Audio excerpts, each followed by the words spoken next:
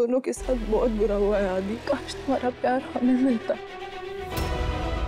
हमसे बहुत बड़ी गलती हो गई काव्या। आदि तुम तो पे बलात्कार का इल्ज़ाम लगा सारे सबूत तुम्हारे खिलाफ थे लेकिन तब भी एक पल के लिए भी हमने ऐसा नहीं सोचा कि तुम ऐसा कर सकते। काव्या वादा करो काव्या। तुम हमें छोड़ के कभी नहीं जाओगी। For more updates, subscribe to our channel click the show links and enjoy watching the videos.